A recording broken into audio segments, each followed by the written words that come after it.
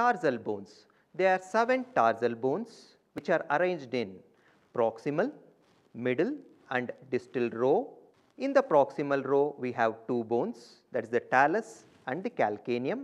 In the middle we have the navicular bone which is attached to 3 cuneiforms, medial, intermediate and lateral cuneiform. In the distal row we have the cuboid bone. Let us discuss about the talus bone.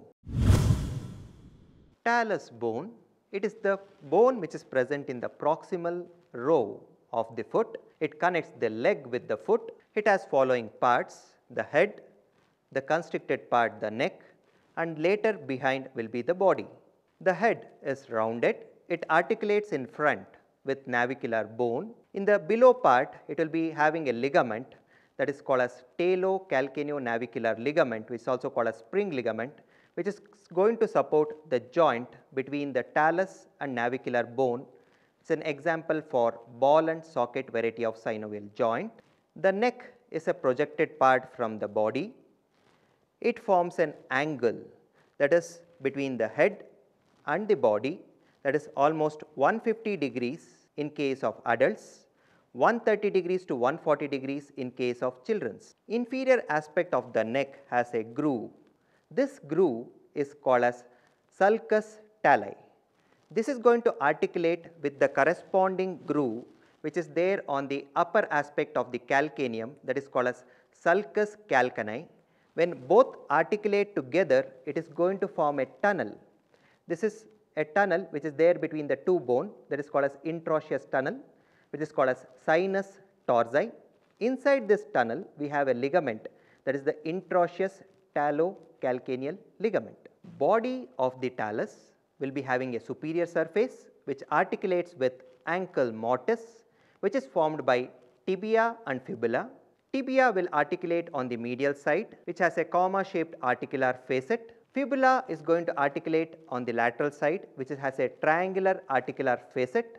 To the inferior aspect we have a articular facet which is articulating with the superior surface of the calcaneum to form the posterior talocalcaneal joint. The posterior surface of the body will have two tubercles, one on the medial side, one on the posterior side. In between this we have a groove for tendon of flexor hallucis longus. This bone has no muscular attachments, all are ligamentous and it is going to articulate with 4 bones. In the upper part it is articulating with tibia and fibula. This joint which is forming above the talus is called as supratalar joint. Below it is articulating with calcaneum. This is called as subtalar joint which is also called as posterior talocalcaneal joint. In front it is articulating with navicular bone to form a pretalar joint. Calcaneum which is one of the largest tarsal bones which is present below the talus. It is directed forwards and laterally. This bone has many surfaces. One of the surfaces is anterior surface. This anterior surface will articulate with cuboid bone to form calcaneo-cuboid joint which is an example for saddle variety of synovial joint. This joint is supported from inferior aspect by the tilt of the calcaneum which is called as calcaneal angle. This joint that is the calcaneo-cuboid joint along with talocalcaneo-navicular joint is going to form the mid-tarsal joints. Posterior surface of calcaneum it is divided into three parts, the upper part, the middle part and the lower part. Upper part is related to fibrofatty tissue. The middle part is related to the attachment of tendo achillis along with plantaris tendon. The lower part is related to fibrofatty tissue which is covered by skin which helps for weight transmission from the bone to the ground. We have the plantar surface which has 3 tubercles an anterior tubercle and two posterior tubercle. Between these three tubercles there is a rough area which gives rise to attachment of long plantar ligament. Anterior to the anterior tubercle there is a rough area which gives rise to attachment of short plantar ligament.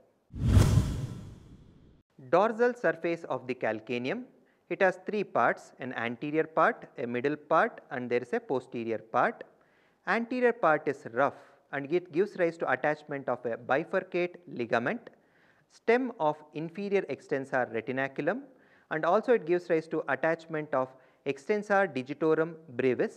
The middle part has articular facet which articulates with talus to form subtalar joint along with interosseous ligament. Posterior part there is a rough area which is related to fibrofatty tissue which separates this bone from tendo achilles which is attached to the posterior surface of calcaneum.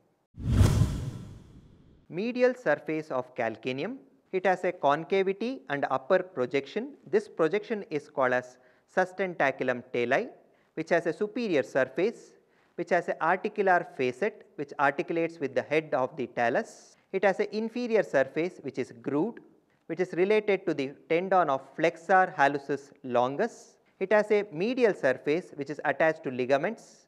We have the deltoid ligament, we have the spring ligament and also we have the slips of tibialis posterior, medial talocalcaneal ligaments attached to the medial surface of sustentaculum tali.